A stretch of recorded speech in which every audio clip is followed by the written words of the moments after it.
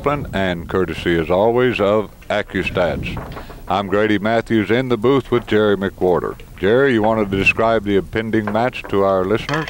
Well, I'll tell you what, uh, this has got to be one of the most exciting matches that this tournament's going to present. We've got a couple of real flamboyant, fancy players here.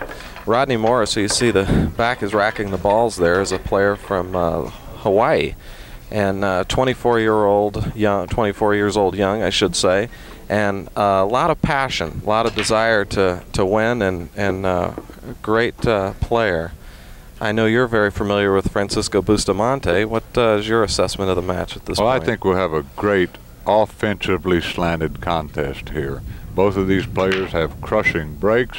They're fearless, eyes like an eagle. They're young, talented, and an asset to any major tournament arena. Well, I'll tell you what, I think in any uh, champion that you look at, I think one of the most important factors is just real passion and drive to win and, and hunger. And both of these players have got that in spades. Now, Bustamante failed to pocket a ball on the opening break. Rodney can see the one ball, and I don't think he'd be well advised to, be, to shoot an offensive shot. I think he needs to play a good common sense safety. We're in Reno, by the way, at the Sands Regency, the 20th edition of the second oldest tournament in the world, to my knowledge. Always a favorite among the players. No kidding, they really do a great job here. Uh, a knowledgeable, uh, very appreciative audience, and this should be a thrilling contest. Rodney, of course, a protege of Hawaiian Brian, who a lot of folks on the mainland never heard of. Brian's one of the best nine ball players that ever lived. Well, what a great safety. Look at this safety, Jerry. Yeah, uh, that's. Uh, this played awfully good speed control there. Snugging that ball up real tightly against the five ball is of critical importance in playing a safety like that. Uh, one of the things that you learn among this upper level of pool of just getting the hook isn't good enough in many what, cases. What a great shot Francisco made. Now he hit that at exactly the proper speed to give himself a chance to get distance between the cue ball and the object ball, and barring that, a nice little safety. Very fortunate with that little roll. Well, he made a good hit. It pays to hit him. And I might add, uh, if you're statistically minded, that these top players, the real good safety and kick, kick players, hit about 95% of their kick shots. Now again, Rodney has a shot that, that oh, it's it, it's awkward to say the least. He doesn't want to hit the far side of the one. He's got a good chance to scratch, and again, he has to hit this with a, a little pace, give himself a chance to get safe, or perhaps pocket the one ball.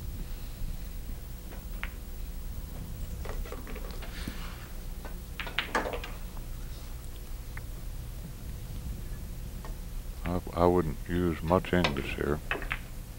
I like the way he did that. And why would you miss it short if you're going to miss it? Because in that fashion, you have a chance to hit it coming back. If you miss it long, you might might scratch, and also you have no chance to, to hit it hitting more than one rail. Well, he missed that sufficiently short. It seemed like uh, he, he might have intended to hit it two rails. Right. Uh, to come behind the, the one ball. Okay, Francisco's in pretty good shape here. He wants to just draw back for the three ball. Uh, this is a little awkward, but certainly tenable. He'll go two rails around the five ball. And I suspect he'll lean his body across the table.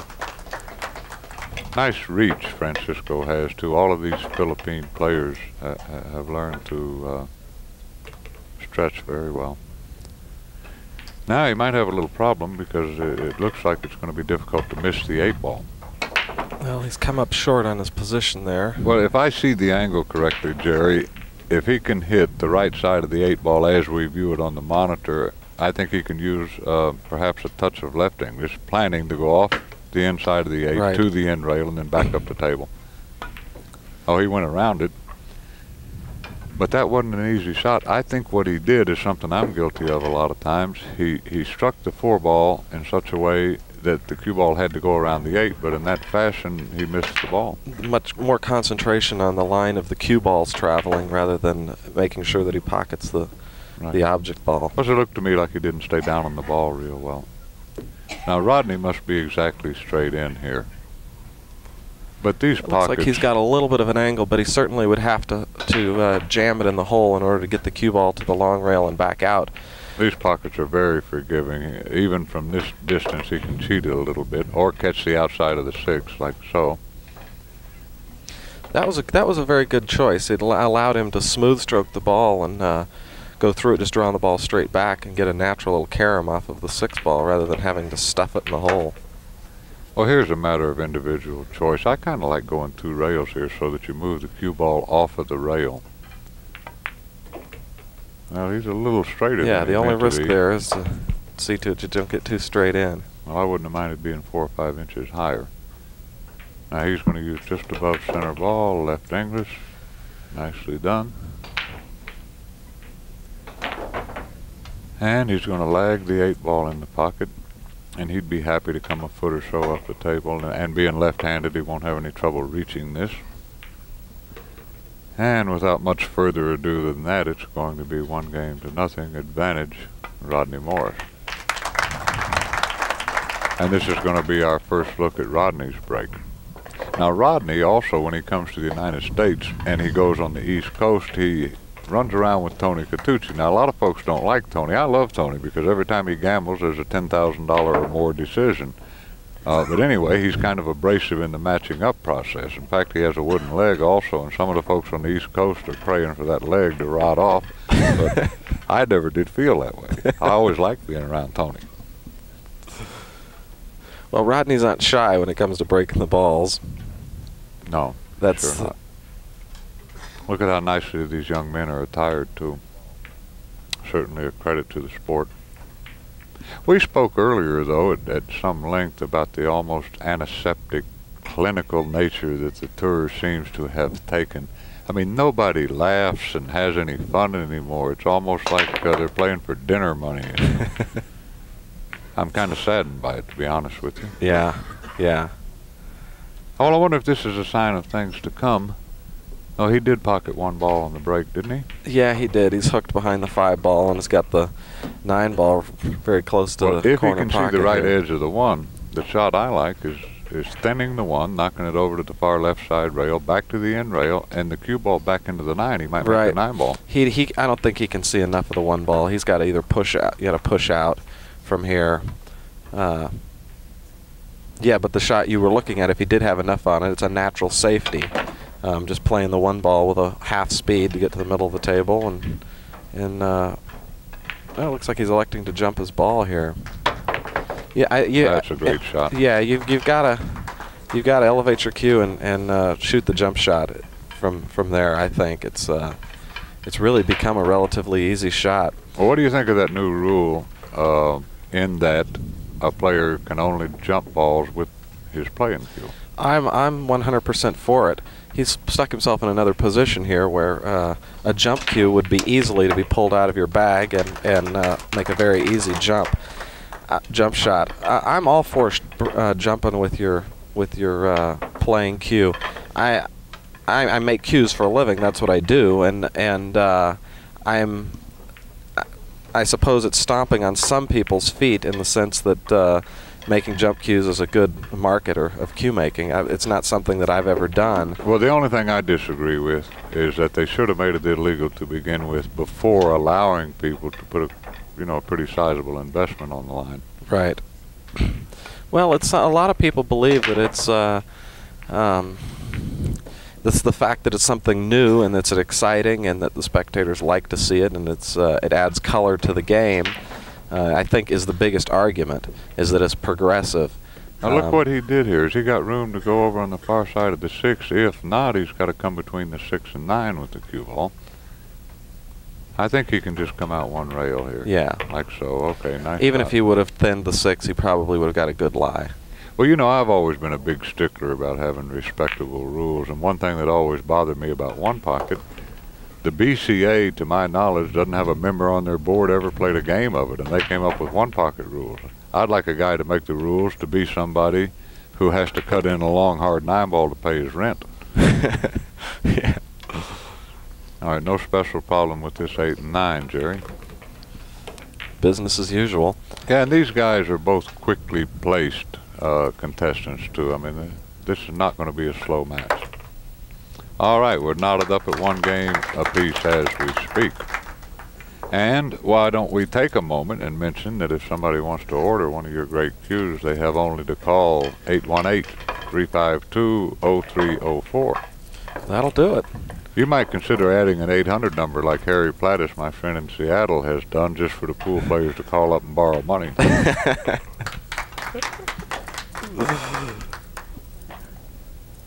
Surprised Harry's not here. He usually comes to Reno. Probably got bigger fish to fry. Well, that could be. And lawyer talk, I don't know what that amounts to. All right, here we go. Now, Francisco didn't make a ball. That's one of the rare times that you'll witness that. He took some of the force off of it. We may see him hit him harder, which he did. Look at that. He stopped the cue ball Yeah. exactly in the middle of the table. Got kind of a bum roll. The one Yeah. ball doubled out of the pocket. The seven ball kicked him down the table, kicked the cue ball down the table a little bit. Yeah, he seemed like he is actually breaking the balls a little more control. He might have a Samson condition going. He, You know what I like here? trimmed his hair Um, substantially there and had lost a little power. This is a give or take situation anyway. Why not push the cue ball forward like two inches and give your opponent the chance to do something ignorant? He might. I wouldn't shoot it from here. Uh,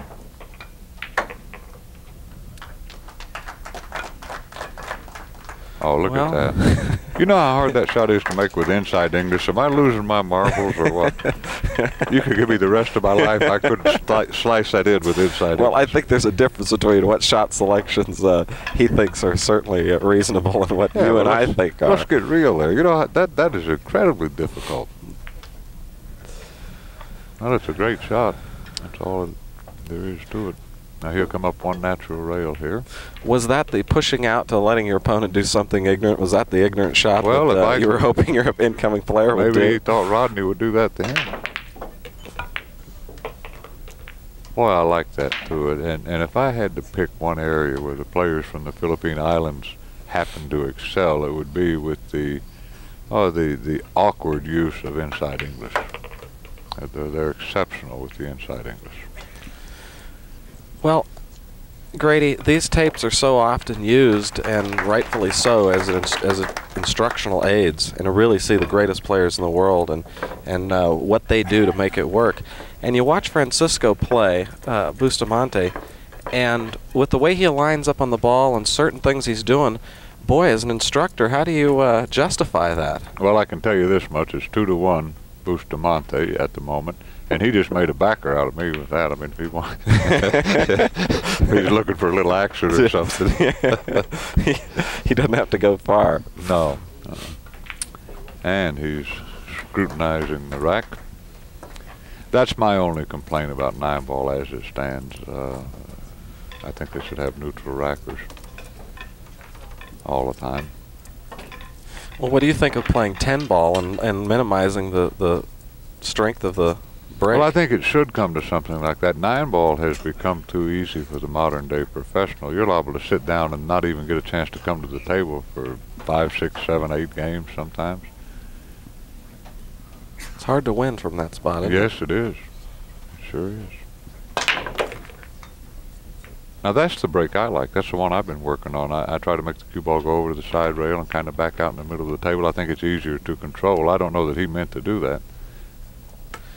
Now let's see what he does here. Now if he shoots this in 100 miles an hour, warp speed, if you will, with inside English, uh, I just double my bets as his backer. How about if he just jacks up and draws it to the long rail? No, he's going. He's attempt going to that inside English.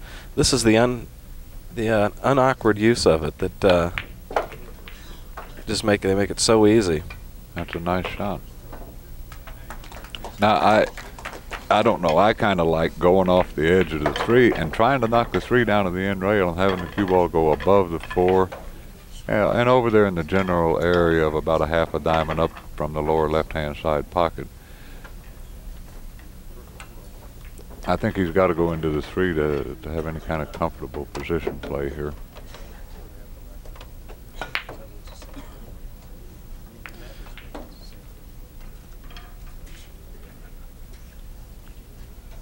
Well, Rodney has a bank, but this is this is not a good bank here.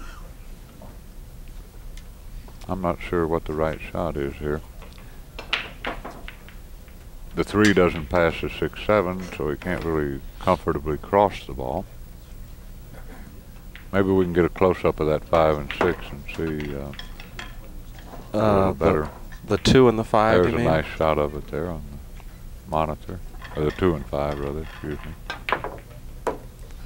Oh, what a great shot. He had to shorten that up pretty well. Yeah, it looked like it was easily pocketed. Uh, with a little inside English there to kill it, but He was uh, a little straighter in. how much future he's got? Well, I think to be successful out here on the tour today, everybody plays so doggone well. You have to be aggressive. You're not going to win bunting. I, I I think so. Watching Francisco long rail bank the uh, the two ball with the I might also, intentions of staying at the table and running some racks. I might also add that that mentality works well at marriage. You've got to be aggressive. yeah, you, you can't win bunting, ducking, and hiding. I think Oh, this is going to be a fun match. You know, I'd drive 500 miles to watch a match of this nature. What a great sport we have, and and there's a lot of signposts that lead me to believe that there's a lot of great things in the future for our industry. Well, you're back there playing nine ball again. You you participated in this tournament. As a matter of fact, I was uh, here in the booth commentating on your uh, your last match, last match of the event. I'm, Well, um, I haven't played in any sanctioned events in three years, and I, uh, I mean that's what I do for a living. I'm a pool player. Now that's the edge that experience gives you. Now there's not many places that a grizzled old veteran like me would have an edge, but I play the six ball to go to an exact place in a case like that. And one pocket and straight pool will help you a lot there.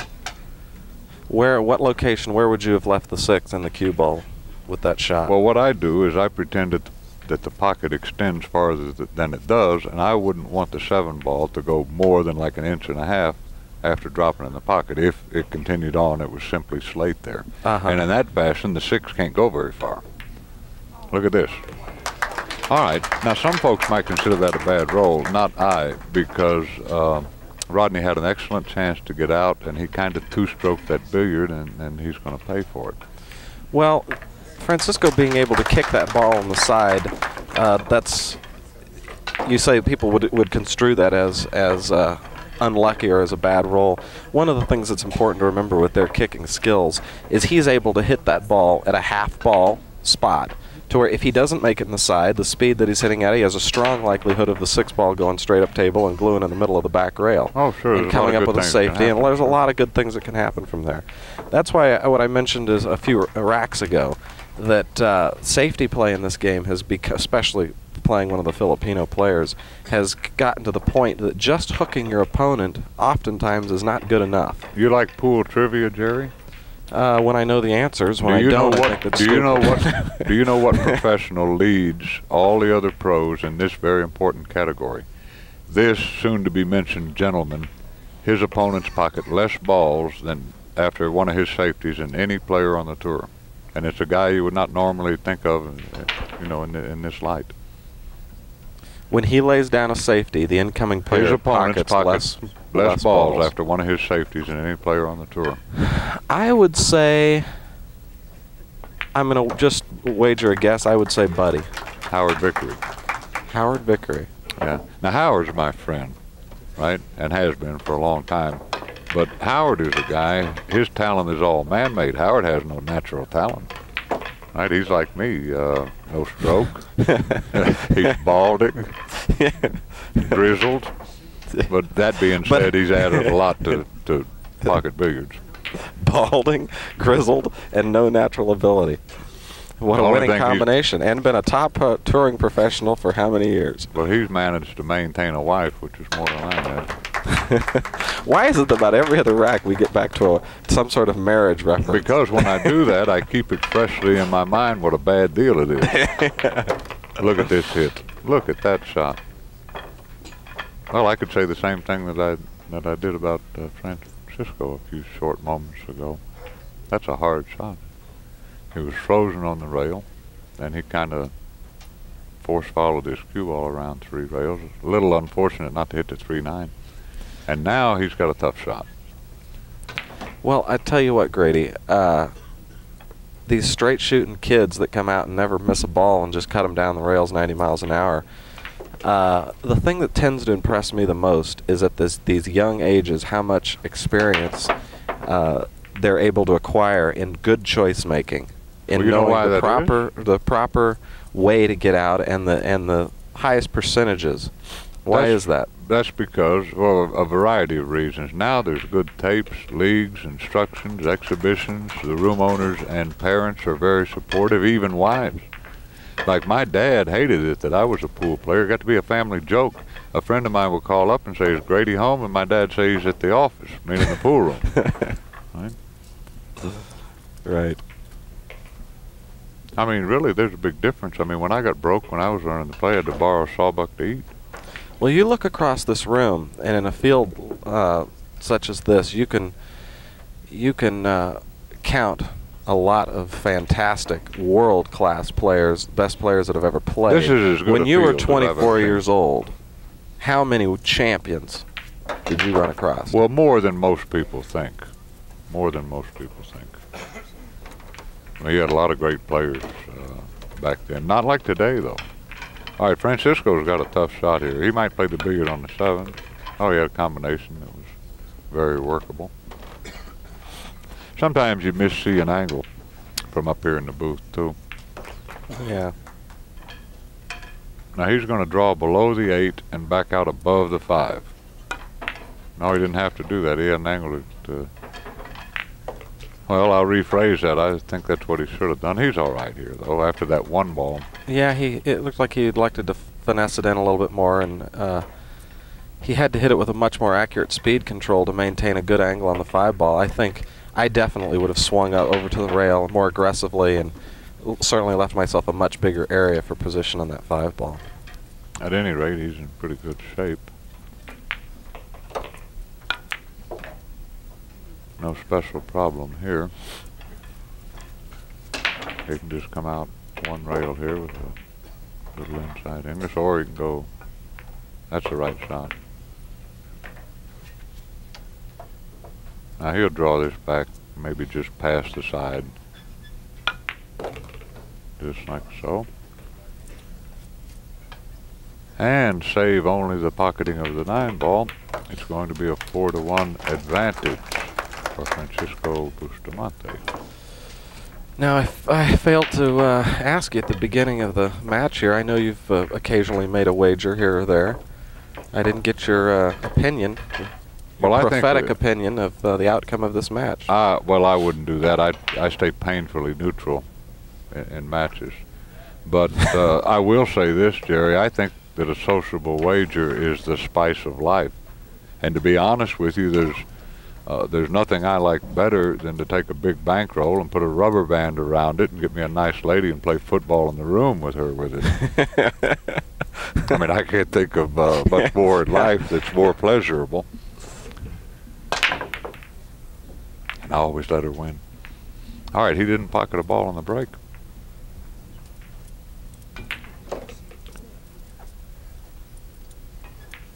Now I think that he can make the three ball here, but again, you got to be real careful where the one goes. Yeah, I, I, I think he at the at a at a slow speed, he, the three ball will dribble into the hole there. But where do you strike the, with Well, the one, and the- where does the one go? He can't hit this very hard.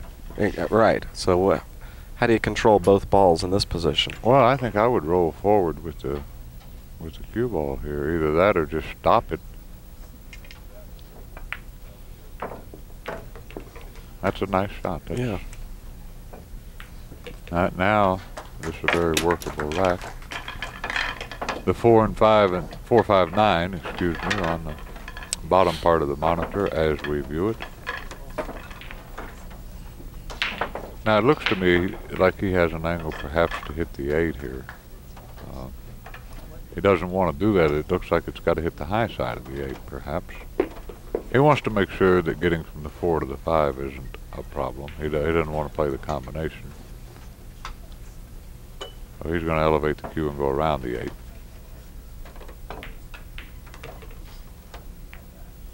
Well, he was measuring a line to come into that uh, right-hand rail as we look at the monitor, and it seemed like that five was awfully big. Well, he's pretty fortunate here. Uh, I'm reminded of Buddy Hall when he practices. He goes to great lengths not to run the balls. There's a lot of bad things can happen. He could easily have been snookered there or scratched. Well, a, a bad thing did happen here. I, can he clear, see enough of the two to pocket it? Yes, I believe he can. Looks like he's got to elevate. This is from this angle. It's hard to see. He's got to elevate his uh, bridge over the nine ball. Well, I play to overcut these. I know that there's a tendency to hit them too thick. Okay. Now he has a, a pretty much a shoot and stop situation. He wants to be a little below straight in on the five ball anyway. So he can go down table for the six. And I believe that's nearly ideal. If I see the angle correctly, don't have to do much of anything with this. Yeah, I thought he had an angle where he could just lag it. Now here, I like coming back two rails rather than just completely roll this if I see the angle correctly. Okay, he could spin it in. fine. You were talking about coming straight down Lengthways, table. uh, yeah. And, and hitting the short rail down here by the nine ball and then coming back up table to Right. achieve position on the seven, Right. rather than having to uh, painfully uh, calculate the speed. But what he did here is all right too, because his cue ball was going towards the ball. Yeah, I think that was uh, from. It is hard to see from the booth here, but I think that was the desirable shot to spin it into the hole and I'll tell you come what, two rails out of the corner. This is not the best angle in the world here.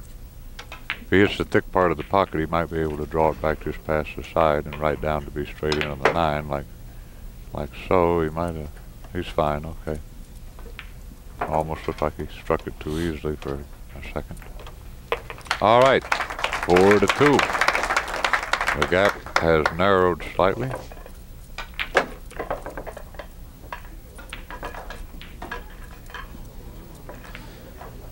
There- There's Howard Lubin. He's here every single year to witness these sterling matches. One of our prize spectators. Oh, we have a lot of them. Hubba Hubba is here too. That's Troy. You'll hear that cry out every now and again. Oh, that's for sure. Oh, he's a neat guy. He's a local resident here of Reno, but he gets around quite a bit too. Comes down to Southern California and plays in several tournaments a year. Well, Rodney did pocket a ball on the break. And he's kind of shaking his head. Now, and this is the second time he's done that. I don't know that I agree with that. I mean, to, to make a ball on the break and be able to see the one on forgiving pockets, uh, you're supposed to be able to get on this two ball even even though uh, you're quite a ways away from it. And I don't think he got there. Oh. Looking at the monitor there, looks like he does. But He he's, can't left, see he's. He left-handed. This is going to be difficult for him to reach. Oh, he is a left-handed player.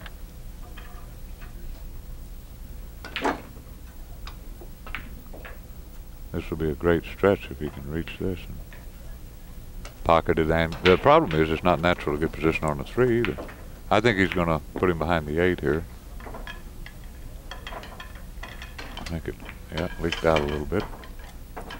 Well, here, if he has room to miss the three, I don't see any problem here. You just try to bank the two into the nine. Might even have an angle to get the cue ball right over by the five or behind the five. I don't see any bright future in trying to cut the two ball in.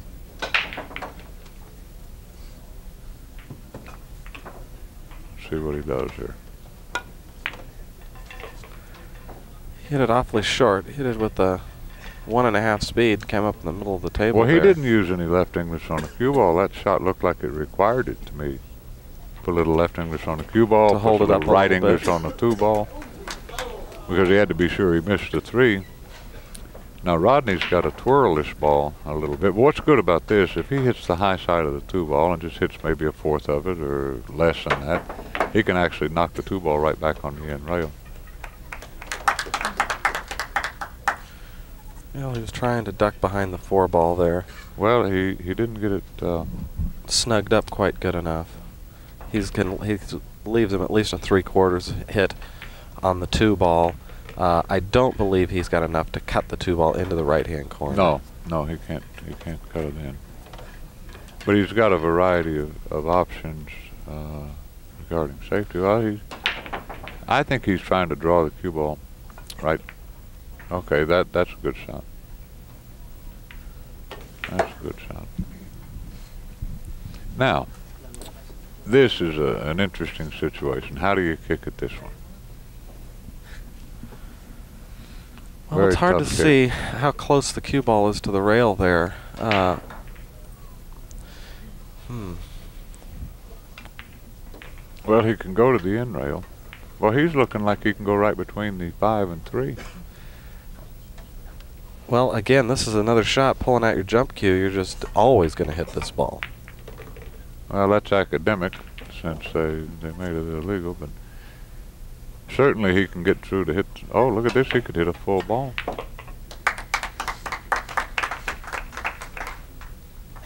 Well, he's got a choice here. I think we'll see him bank the two ball.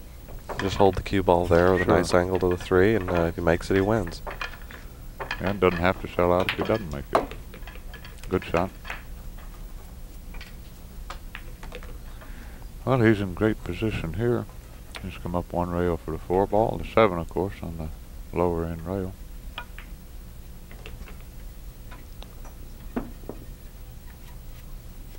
And again, this is a matter of individual preference. There's two or three ways to play this. Getting straight in is the is the wrong Well, place he's to be. okay. He's going to lengthen this out. I think he's going to use it just below center ball left English and let the spin carry it long. He'll play the seven in the pocket where the nine is. That's perfect. I like the way he did that. If he goes a little farther, then he can play position for the seven in the other corner pocket.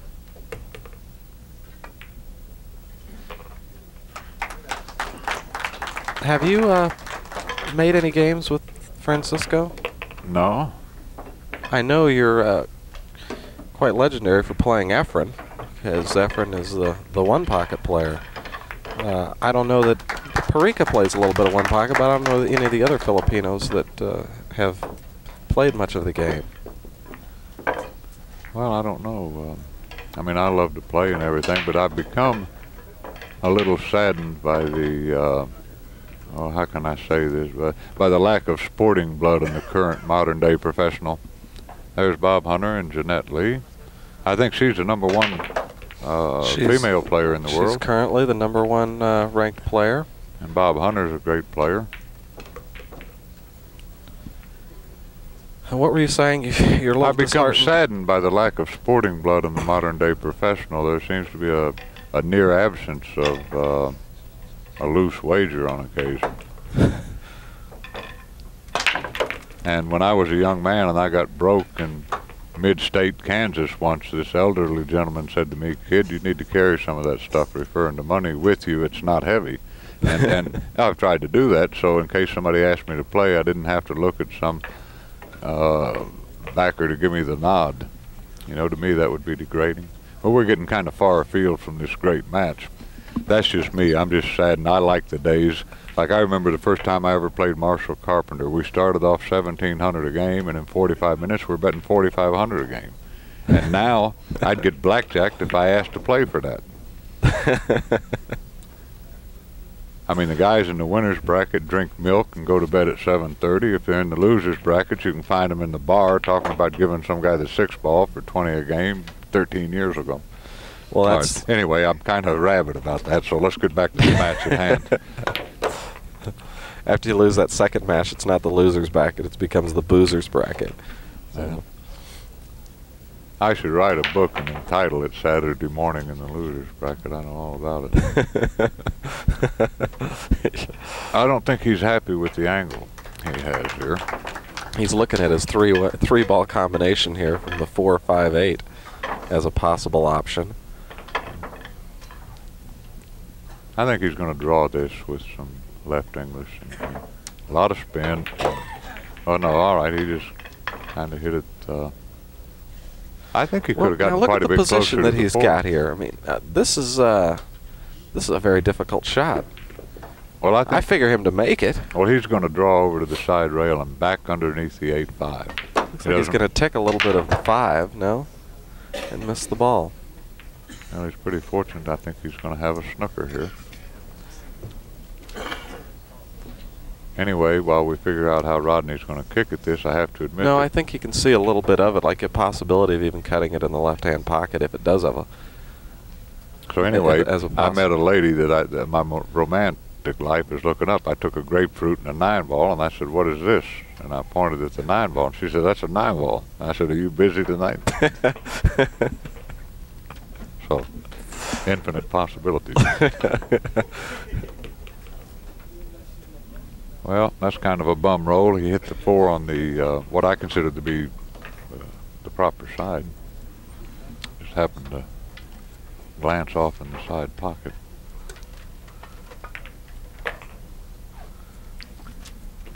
Okay, he has four balls left here. And he just kind of one stroke that. And he's going to have to draw around the nine, I think.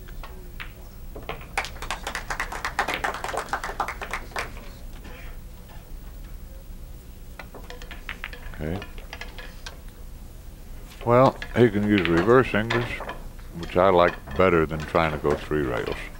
That's the shot I like. yeah. Pretty easy to obtain quality position in that fashion. And again, he can do whatever he wants to. He can go one rail, two rails around the nine, which is kind of the shot I like. He's a little farther down the table than he meant to be, but I don't think this will pose any particular threat.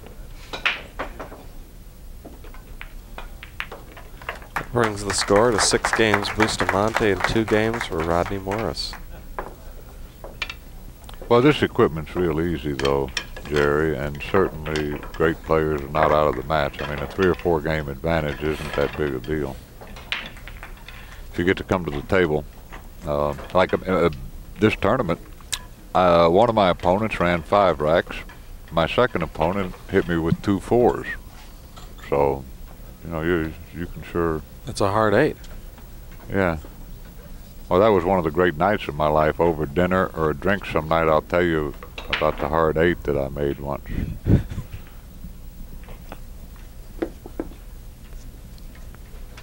I can't think of much in life I enjoy more than a uh, a good crap game. Hey, six to two. Francisco preparing to break the balls. Oh, I like that. He killed it in the middle of the table. Grady, which do you think would be more difficult to give up, women or gambling? Well, Say you had to go a year and totally abstain from one of the other. Well, the best thing that could ever happen to me would be if somebody made me give up both of them. That'd be the greatest thing ever happened to me. now there'd be a success story, right? Yeah. Okay. All right, he's going to take a kick at this. Play to hit the bottom side of the one.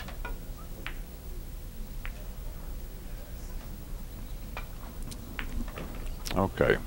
Now this is not easy. The one doesn't go in the corner. It does go on the side, but the cue ball is, is close to the rail, and I'm not sure he can lag this in and have a shot. I don't think he, he can do that. I think if he lagged it in, he would bring the cue ball down into a, a zone on the line of the uh, of the nine ball, which would leave him snookered behind the eight. And, he, he and then if he did try to swing all the way over the threes in a in an awkward position, You can't hit this real hard either. That makes the shot much more difficult to pocket.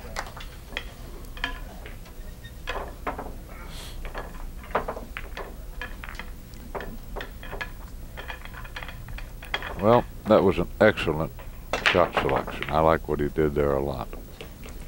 That was a good common sense, high percentage safety. well, he's certainly going to hit the one ball coming from the lower, uh, the short rail down here. Uh, what he's able to do with it from there is Well, he'll try to leave the cue ball behind the four, or if he hits it a little thinner, perhaps even the six. exactly.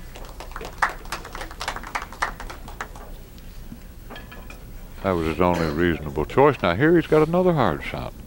Look where he has to hit to, to do any good with this. He can't play the cue ball between the six and the side pocket. That's suicidal. He can't bank the ball as I see it. Maybe he could go Uh, below I, I the believe six. he's. I believe he's hooked. Oh, I thought he could hit it. No, maybe he can. It's. Yeah, I. Well. Yeah, obviously he could shoot straight at the ball. Maybe he uh, didn't have enough of a ball to to not easily avoid that double kiss there. Well, he He seemed to hit it full in the face, and He could have made the ball because he hit the left side of the one and trying to play the safety.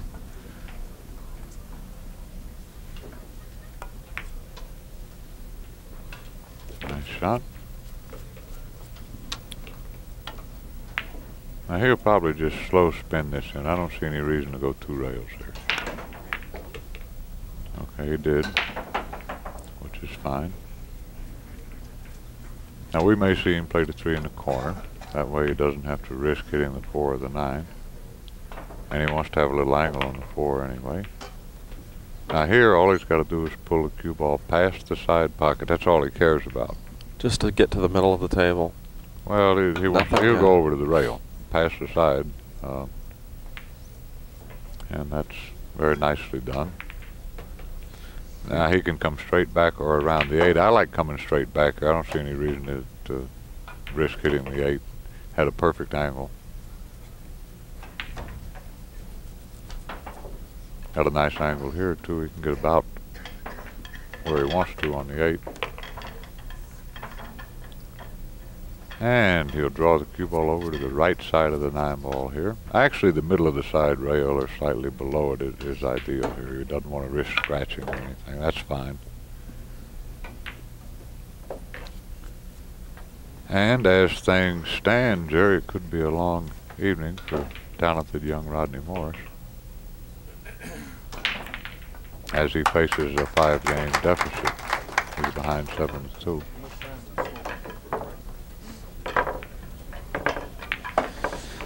The uh, momentum of the match actually seems to be running a little bit slow. I've uh, watched a few other matches on this table where more racks were put together and uh, things are running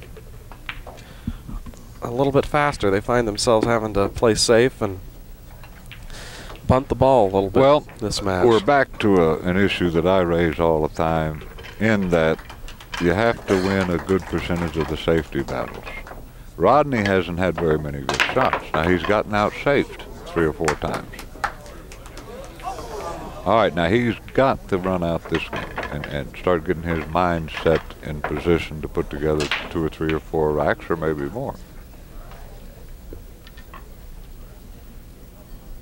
Let's look at the lie of the balls.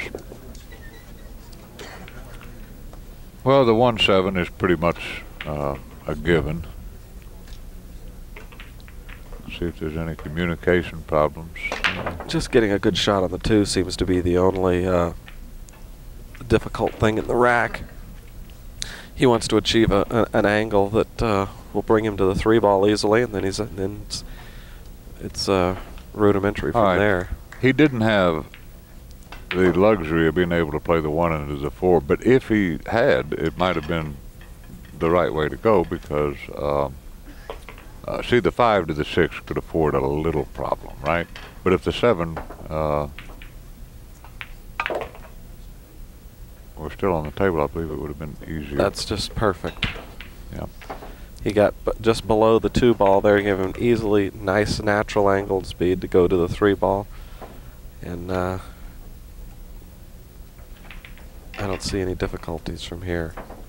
He just wants to achieve uh, a good angle on the five. Just don't let himself don't get too straight in. He can swing over to the six easily. Well, if the four is off the rail a, a little bit, I kind of like laying the cue ball right on the end rail here. Because, again, that's the only problem he's got is from the five to the six.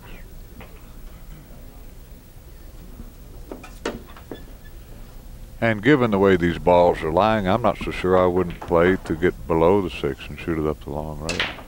That way you, you, you don't risk catching the five a little thick and maybe scratching across the side. I like what he did there. Well, the way these pockets are accepting the balls, uh, playing the six all the way up the uh, same pocket as the four is is not at all unreasonable. Now see how he got here? This is a little touchy. Okay, he made it look easy, but I tell you, when you're That behind seven to two, you can catch the nine go on the side, or catch the five a little thick and scratch the side straight yeah, in. that side pocket is awfully big from that uh, that angle. But of course, when you're 24, things like that are negligible factors. And he's fine. He's got a little angle on the eight, but I, it looks to me like he can just punch the cue ball over. He's going to play it in the side. Okay. His deliberation around the around the table here being a little more cautious than uh, than I think we would normally see out of his game. Okay, we're going to take a good hard look at Francisco Bustamante's break shot.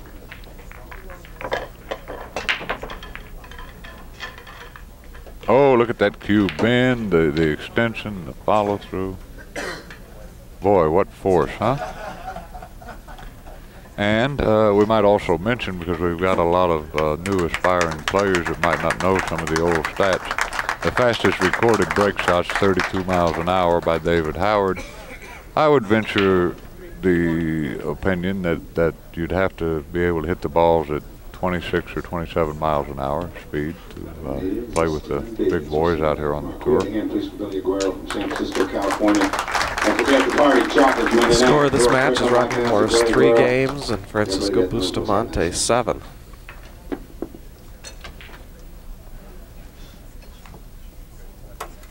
Okay, now I believe Rodney has changed sides of the table, which uh, they killed the cue ball in the middle of the table nicely. Made the nine on the Made the break on and the uh, profited one game and stayed at the table. Well, that's what he wants to see. Well, that's what he needed to do. Uh, needed to make um, a good high percentage run out. He did that. Then he stayed down, followed through on the break. He killed the cue ball in the middle of the table, and he was rewarded. No reason to change sides now. In fact, uh, perhaps this could be a shifting of momentum. Who knows? Oh, he got kissed in the side. And the nine ball is nudged right in front of the pocket there with the help of the six. Uh, he, he won one game by the break and lost one game by the break here. Well, I think Jerry, I might play the one to the nine here. What do you think? Well, you you are a risk taker, so uh, that's what I would expect. All right, eight to four. Well, I don't know. Call me old-fashioned. Uh, I'd like to see it made where you have to make the nine last. I just don't think a guy should lose a game or a match because the nine happens to end up hanging in the pocket, or it goes on the break. I, I've always been a uh, a believer of the nine does not count on the break. Now, audiences, audiences like it, Jerry. Why? Yeah? Because I, it's just an exciting kind of shot. All right, let's look at Francisco's break again. That was a nice slow-mo recap, courtesy of Rick Bowling. Well, he's played the one in the side there. He's got the drew the cue ball back farther than he wanted to. Kind of bounced off the stack there. Now, here's an area where the Asian and European players have, uh, in my opinion, a distinct advantage over the American players. If he's going to lag this ball, boy, they're incredibly accurate with it. Now, he's not going to do that, of course. He's going to hit it with some speed. Let's see if he stays down on this shot. No, he didn't. Almost got rewarded in an awkward way. Well, it could have been worse. Uh, at least he didn't leave a real easy starting shot to Rodney Morris. Lagging, uh, shooting that two ball length of the table there off the end rail, lagging it or uh, jacking up and, and shooting it in forcefully. Uh, that shot to me is strictly a confidence shot. We all can make the ball, we all do make the ball. But getting up and under the pressure situation and confidently shooting it is uh, what it's all about. Which I, I, I guess would I'd have to say was the only factor missing in him missing that ball and not staying down on it. Well, here, I think Francisco has to take a cut at this ball. No English. And just let the cue ball run around the table. There's Now, what are the things that are, that uh, are indi- indicating to you he needs to just shoot at it? Well, he doesn't have a good safety. When you have a tough safety and a tough shot, you've got to take the shot. Now, his other option is he could bank the two ball. But I sure don't see a feasible safety. I mean, he could play a little bunt safety and try to leave the two behind the three. Like that. Yeah, he was trying to snug up under that six The ball The problem too. is here, Jerry, is that in my opinion he's an underdog here. If Rodney can hit the bottom half, bottom part of the two ball, he's got a great chance to get it to get it safe. By sending the cue ball down table and leaving. No, do you leave the cue ball up there by those other balls? I mean, sending the t- sending the two ball down table, leaving the cue ball up with the rest of those balls. He's a strong favorite to come up safe. Yeah. Well, he hit it much thinner than he meant to, and he's a little fortunate that the six ball went in. And Well, one or two of those rolls is what he needs to put himself back into this match with a oh, he's not out of this match. with a, a commanding uh, possibilities. He's going to play it in the corner, it would appear. That's a good shot. As you know, uh, the board uh, is electing with bringing it back to a race to 11 opposed to 13. In a race to 11 format, the the score being eight games to four is a dramatic difference. Sure, I don't know why they would do that. Geez, it took years to get them to lengthen it out. I mean, in England, they take a dinner break in the snooker matches. It lasts seven or eight hours sometimes. Playing a short race with great players is it's almost inhuman. Can you imagine the golfers playing a race, a race to 11 holes, for God's sake? At any rate, uh, he's fine here. He just needs to make the four. And uh, he's got a nice shot on the seven. And he's shooting stop on the eight ball. I don't know where they get some of these ideas they get. Now they're going to go back to 11. Well, hell, you might as well make it three. well, I think you'd have a lot of votes on that uh, too. Hell, a housewife beat Ronnie Allen once in that eight ball tournament they had in Vegas, right? okay. We're going to forthwith be looking at an 8 to 5 score.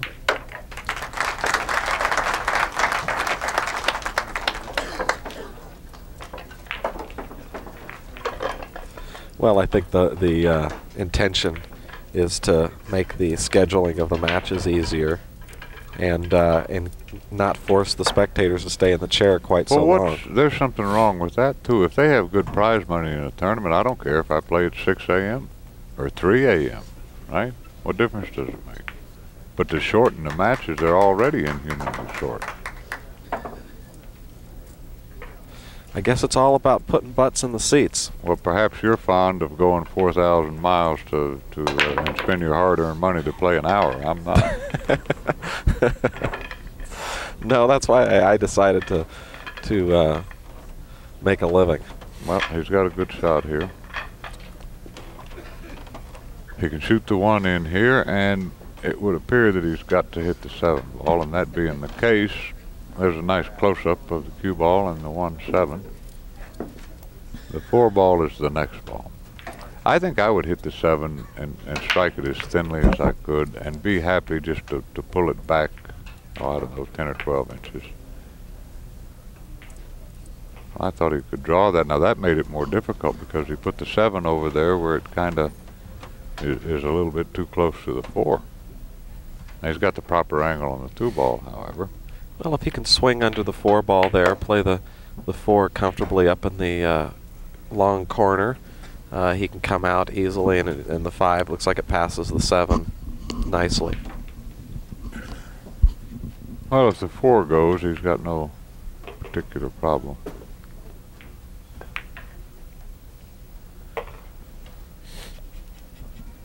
Gonna play the five inside, and He came up a little short on that. Uh, he would have much rather been on the other side of the five ball. I guess he was a little straight in, a little straighter on the four than he wanted to be. He's got plenty of room. He may decide to play in the corner, but I think he can go with inside English like that. Oh, the six. I didn't see the six ball. Yeah, he's got the six down on the short rail here. And now he can just come out one natural rail or go around it. That's fine. I don't think I would have elected to do that. I well, think he's I fine here. He wants an angle on the eight to get on the nine anyway. I think I'd have liked just rolling it in and play the seven on the side.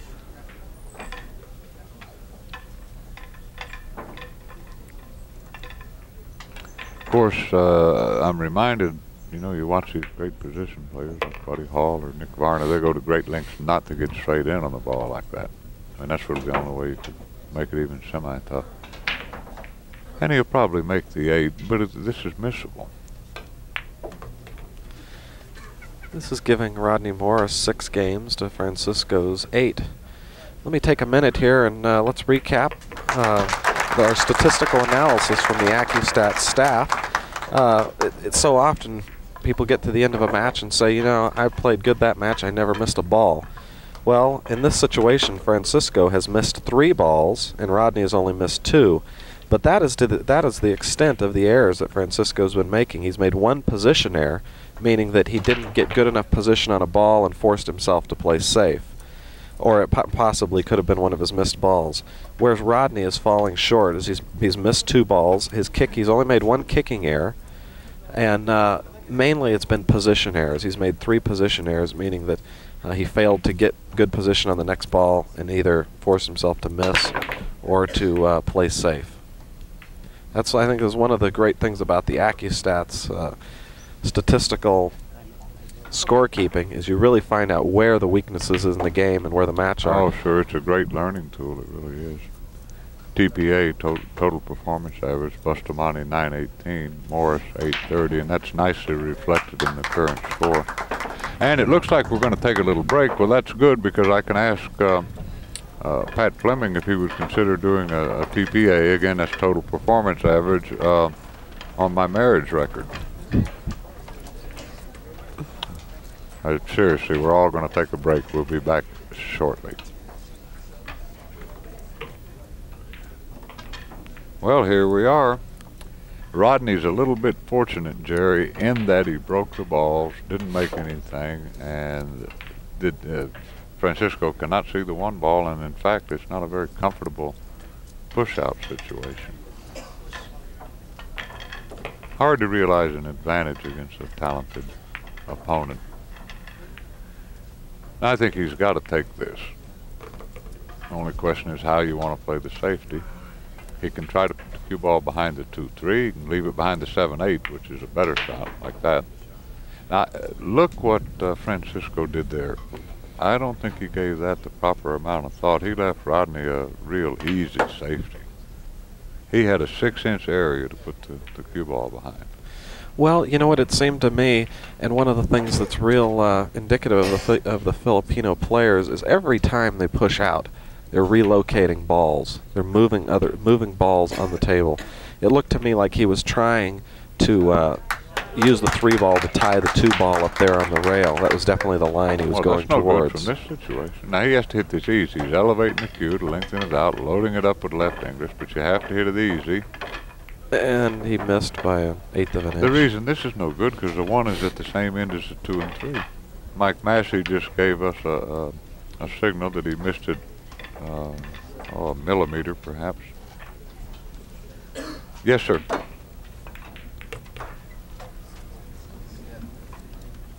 Well, Rodney had a tough shot. He meant to uh, to hit the tree and just stick the cue ball. But again, I thought he shot that a little harder than he needed to. He moved the tree all the way four feet up the table. He could have moved it three inches and been straight in on the two ball. Now he's played a decent safety. Now this is a nice safety here. I use the mirror system for this, which I won't bother to explain in detail. But anyway, you try to hit the right side of the two ball after you hit the side rail. You have the five, seven, eight for the cue ball to end up behind. Pat Fleming informed us he might cut it in. He was massaging the ball with uh, intentions of cutting it into the pocket. Well, I think he got it safe. Now Rodney's got to be careful here about the scratch in the corner by which he's standing. I mean, if he plays this shot correctly, which I consider to be striking the bottom part of the two ball, he's got a million ways to get this safe. Well, he caught it too thickly. Really, the only way you can mess that shot up is to hit it full in the face. He wanted to send the two ball more to the direction of uh, the side pocket or the middle of this rail to come up safe. Sure. And Francisco's got a great opportunity to put this game on his side of the ledge. Well, he missed a ball there that he's just plain not supposed to miss. Seemed like he got down and uh, just kind of rushed the shot. He's not supposed to miss that ball. No, he's not. Well, you can't catch rail going in. As easy as these pockets are, if you catch rail going in with a little speed, the pocket won't take it. Now, look at this. Rodney's got a chance to pull within one game. He needs to, you know, perhaps take a little bit extra time, make sure he gets out here. The four ball is in near optimum position. Now what I like doing here, Jerry, is just staying above straight in on the four, and, and he can just go three rails to get on the five. It's easy as pie. No reason to get cute here. Just punch it out one rail like that. And that's exactly the route he is elected to take. Now, on 90 something percent of your pool shots, you're better off too far and not far enough. Here, if he gets to where he's got to run into the seven or eight, he could have problems. So he'd be better off to go a little too far. On 90% of the shots, Well, you're that's better just off a- to go too That's just far. a ballpark figure. I've never heard that before. That's interesting. Now see, he's okay here because he can draw the cue ball back past the side. But if he falls an inch shorter, then he's got a tough shot.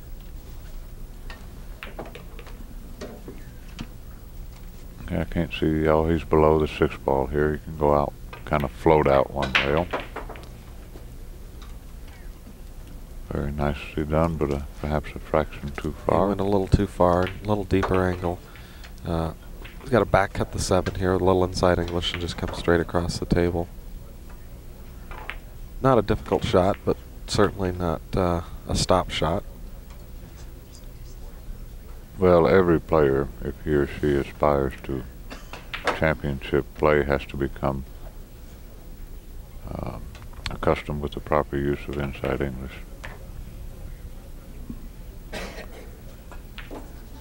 And just like that, this match has tightened considerably. The one game deficit, 8 to 7, favor of Francisco Bustamante. Interesting guy, too. He's from the Philippine Islands. He makes his home in Germany.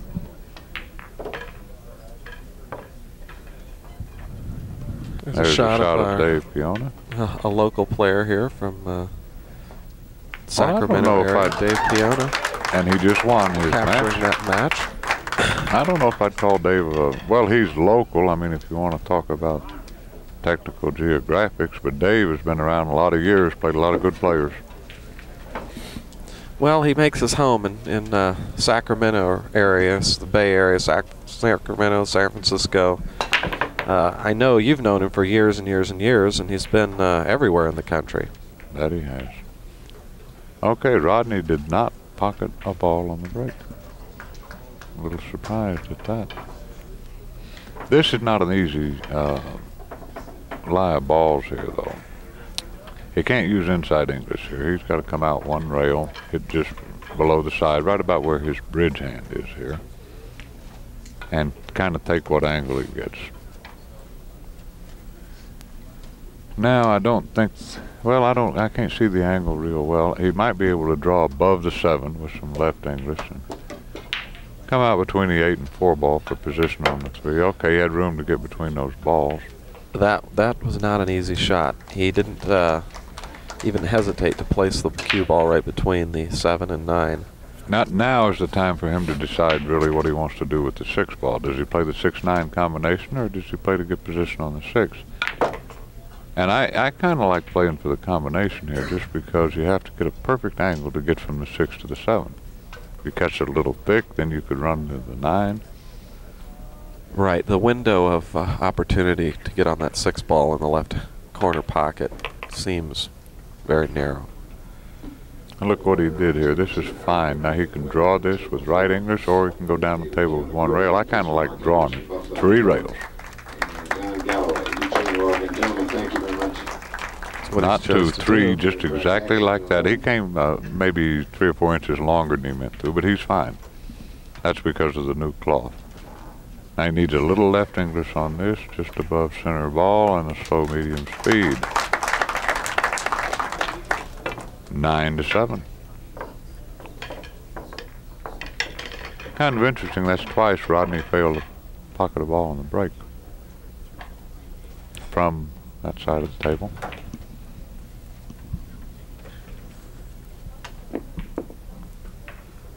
All right, here's Francisco's break once again. I've come to enjoy watching that particular perpetration.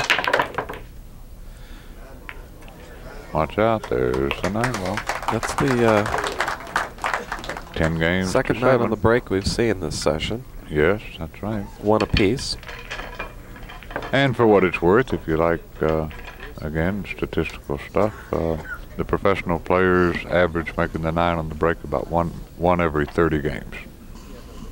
Well documented, courtesy of the old AccuStats scorekeeping system, which a lot of us miss sorely, I might add.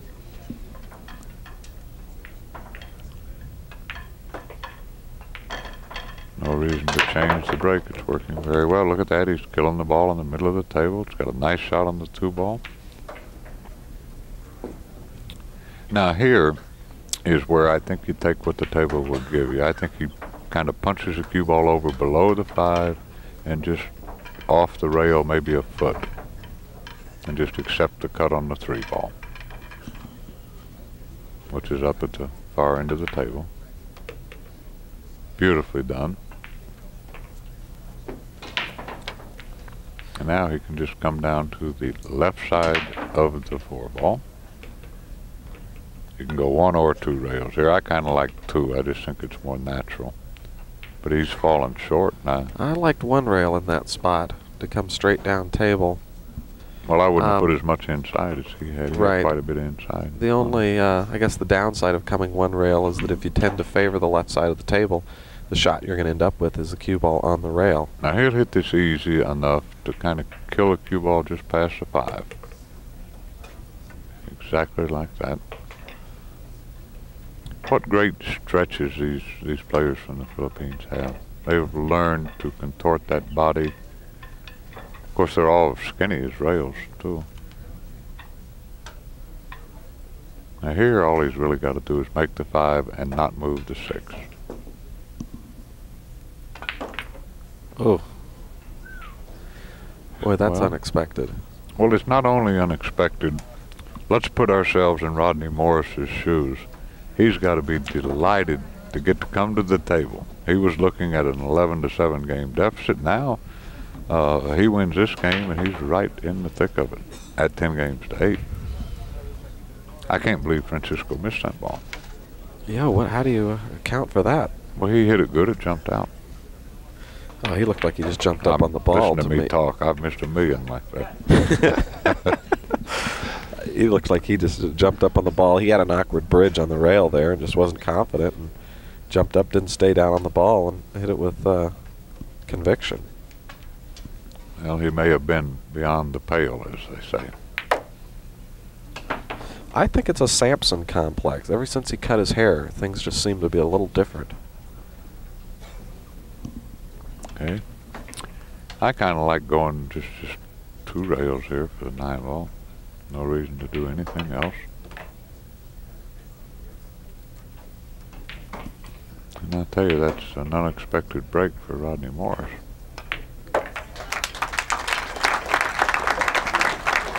Okay, we're going to relook the awesome break shot where Francisco Bustamante pocketed the nine ball. Look at that. That's the classic old time break. Where the cue ball jumps up in the air and bounces two or three times and kind of squats middle-ish of the table. Rodney asking for a re-rack, which is his prerogative and right.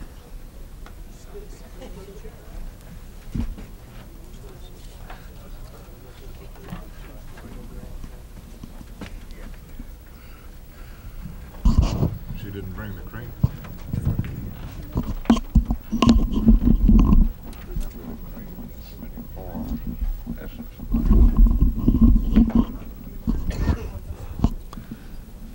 Okay, I think they're going to be satisfactorily arranged momentarily. The uh, having a designated racker, do you think that would eliminate the uh, scrutinizing of the rack by the by the players? Well, I'll tell you the way I look at it. When I go to a tournament, I don't go to rack balls. I go to play pool, and I don't want to have to agonize over this rack and that rack. Even if a guy's not intentionally trying to do anything, I think each player is entitled to the same opening shot. Now, whatever that takes, I don't know what that takes. Let me just say, in, a very respectful and nice fashion, that uh, there have been some inconsistencies in the rack area. As in, how about once in a while I see a rack where the guy doesn't get a ball past the side pocket? There's something a little strange. I don't know what causes it. Well, I think going to ten ball that's an, uh, is a, another thing that uh, that the tightness or the scrutinizing of the rack would be minimized. that corner ball doesn't have its possibility of just firing into the pocket. Well, they, they I would be happy to see them do something about that. Seems to me like it takes a lot of the play out of the game. All right, we're ready to go. Ten games to eight, Bustamante. Now I'm surprised at this. Rodney has, uh, except for making that one nine ball, I don't think he's gotten real good action from that side of the table. I is not thought to change.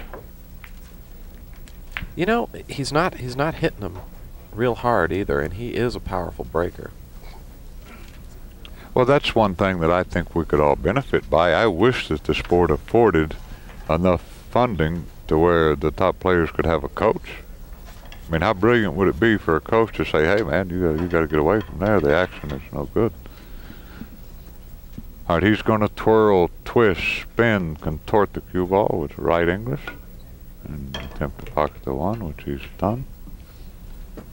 Very important to play in championship pool too, Jerry, to be able to curve that ball all a quarter of an inch, three eighths of an inch, half inch, uh, when necessity demands it. Boy, a table where the nine ball's going towards that corner sure can be a uh, painful awakening. Yes, it can. At 11 games to 8.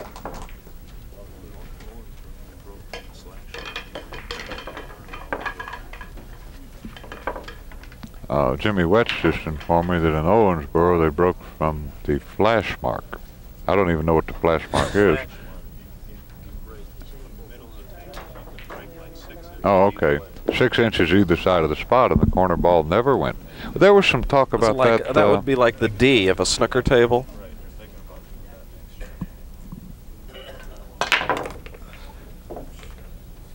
Earl Strickland CJ, they're real powerful breakers.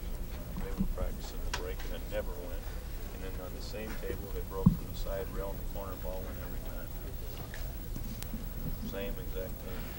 Well, years ago, breaking from the center of the table was a much more common was the, was the break, wasn't it, Grady? Well, not only that, the guys threw the balls together and, and froze everything. All right, Francisco's going to take a bank at this one, I believe. He's a good, aggressive-minded player. Look the speed he hit that with, and uh, by hitting at that type of speed, he might get away with a little bit of a bad hit. The pocket becomes much bigger at that, Sure, at that sure. speed. You're saying. Okay, now this is a shoot and stop proposition on the three ball. And the four passes the nine comfortably, I believe. Uh, again, all he's got to do here pretty much is not get straight in on the five. Doesn't want that. He'd like a, a little angle.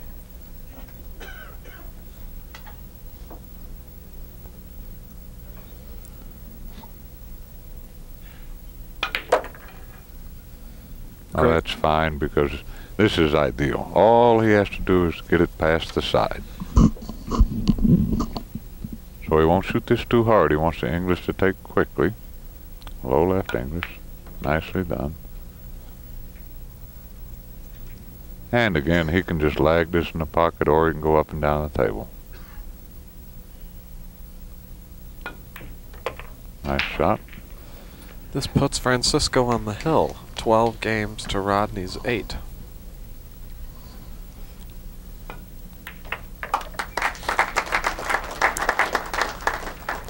And to go back to what we were talking about a moment ago, uh, a lot of times I get asked what the most racks I ever saw ran was, and I don't know. I've seen a lot of racks ran on, on many different occasions, but in the old days, everybody gave everybody a good rack.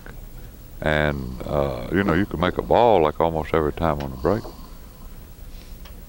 Now, um, you know, they, it's getting better because the the organization, the PBTA, has forced a lot of the players to at least rack the ball, make a, uh, you know, make an effort to, to do a good rack.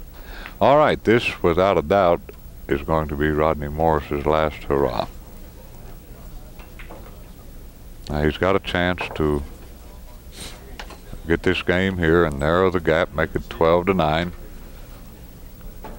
The true odds are 31 to 1, less the break vigorish of him winning this match. So you knock off oh about a, roughly a third of it, and you can call this about a 20 to 1 against him winning this match.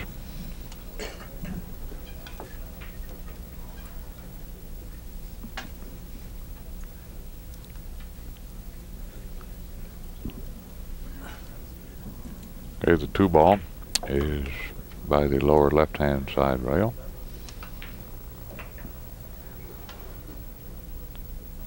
And he's played ideal position. Three ball is right by the tip of his cue, pretty much. Now all he's got to do is pull it back a few inches. Or he could just stop it. I think he'll go over on the right side of the five here, perhaps. Or he can just roll this in the pocket like that. That's fine.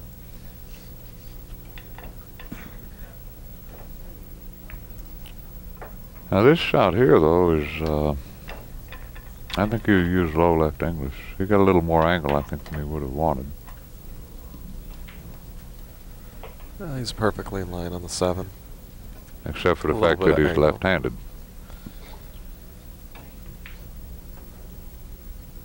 Now he can reach his body across the table like that. Probably reach it. I like what he did there because you don't risk miscuing. Opposed to? Grady opposed to miscuing from what position? Well, if he drew the ball, stretching his body out at that awkward angle, he could possibly Oh, yeah. Well, he had a little bit of an angle there. Drawing it would have brought him in a funny line going towards the. All right, now we're going to look at Francisco Bustamante's break shot where he scratched. Let's see if we can note any differences between. Well, he jumped the table. Looks like he just mishit the one ball a little bit to the right hand side, and uh, his cue ball always does leave the leave the uh, the rack jump up in the air. He mishit the one ball and jumped off onto the floor. And you made a good point, Jerry. He, he um, none of these players try to to cut the one ball that way. See, he hit the one on the wrong side, and because he hit it hard, the cue ball's in the air a little bit. It hits a rounded part of the one ball, and it goes right up in the air. Well, you want to talk about your traditional standard tough as nails? This is tough. Tougher than Chinese. Well, if he goes rail here. first, he could end up behind the seven. And if he just rolls it in, he's got to play a three-ball combination. You can't shoot at a half a pocket, long range. And he's over to four ball. I think I might consider uh, shooting this rail first and at least hitting it hard enough to get, you know, around the seven. Well, he's elevating the cue. Oh, he's just going to lag it in. No, he No, went and playing first. safe, sending the cue ball down table uh, into this cluster of balls. Boy, you know, that three ball combination doesn't look that bad from this deficit.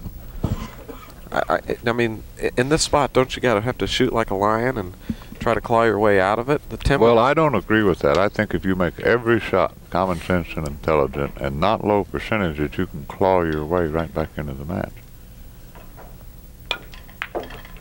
Now, Francisco's got a great billiard. He just uh, comes off the left side of the two ball as he views it. And according to how the nine sits in relation to the rail, I would use a little left English. Nicely done. And add insult to injury, pocketed the two ball. Well, you know, Rodney had his chances. I think he'd like to replay that match. Uh, to put it another way, I think Francisco availed himself of, of pretty much every opportunity, and he even missed inadvertently a couple of relatively easy shots. Well, it goes to show you that uh, missing balls oftentimes is not the worst thing you can do. Playing a proper cue ball and, and getting position, kicking hooks when the when the uh, opportunity presents itself, all those other things tend to add up and to be very important. And those were uh, many of the errors that Rodney found himself making in that match. Are we going to do an interview? Okay, we're not going to have. Well, let's hold on a minute and see if perhaps we can get an interview. We'll know in a moment. And while we're waiting, I'd like to mention that if you want this tape or any of a whole variety of great tapes, good learning tool, the best ever in our industry, you have simply to call 1 800 828 0397. And while you order the tape, feel free to tell Mr. Fleming that uh, they can give me a raise. Just kidding. All right, here's Francisco. We're going to take a minute here and ask a few questions of uh, Francisco and get his opinions on that match. Well, Francisco, we thought you played pretty well. In general, you missed a couple balls you didn't expect to miss.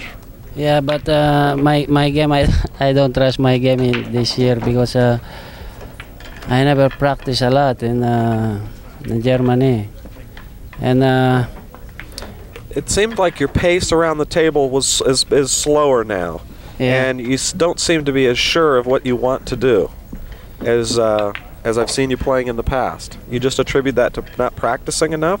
it's not practicing enough, and then it's not so much tournament. I just uh, I just came in United States just uh, one or two tournaments, and uh, I never play all the uh, American uh, player because it's hard. They play all uh, good like uh, Ronnie.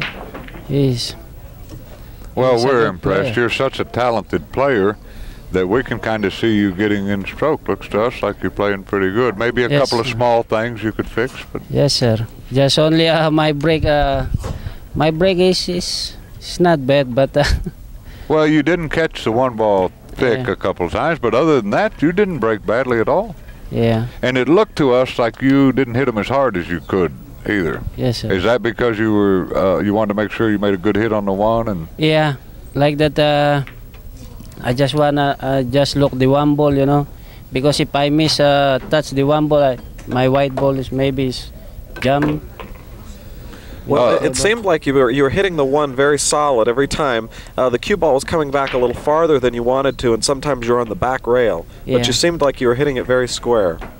Well, I have two things to say to you, Francisco. From Yes, us to you and the whole AccuStats crew, we think that you're one of the greatest champions we've ever seen at nine ball, and you add a lot to pool. We appreciate you coming over to this country to play. Oh, it's uh, my pleasure to uh, to come in the United States, sir, because uh, Well, we all love you over here. oh, The other thing I want to ask you, yes, will sir. you teach me how to make that one ball you cut in with inside English? Man, do you remember that real thin cut you had on the one? of the match. Oh, the one ball, sir. Uh, bet- between the I play uh, with the right English. Yes, yes, yes. Oh, this is if I miss uh, my white ball, you know, is uh, coming uh, over here, and the two balls just only this uh, position.